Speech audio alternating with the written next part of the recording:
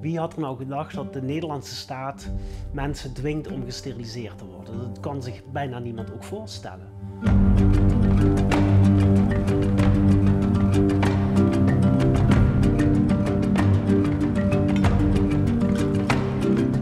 Of ik ga in transitie of niet. Eh, maar als ik in transitie ga, verlies ik dit, dat mogelijkheid tot kinderen.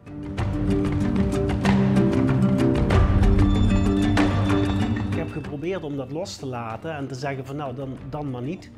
Dan ga ik in transitie en na mijn transitie uh, viel alles een beetje op zijn plek. Ik had een leuke partner, een vrouw.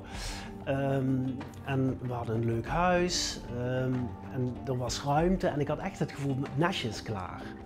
En ik had heel graag dat nestje gevuld.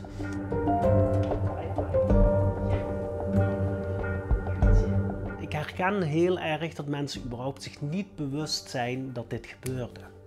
Wie had er nou gedacht dat de Nederlandse staat mensen dwingt om gesteriliseerd te worden? Dat kan zich bijna niemand ook voorstellen.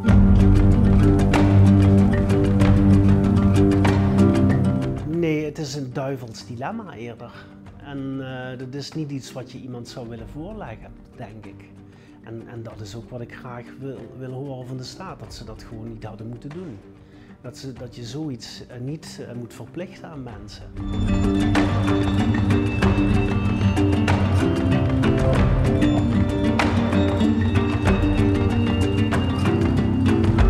Het moment dat in Zweden die uitspraak kwam, die was voor mij heel belangrijk.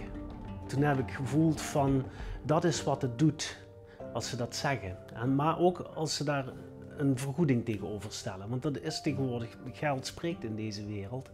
En het geeft de zwaarte aan van wat er gebeurd is.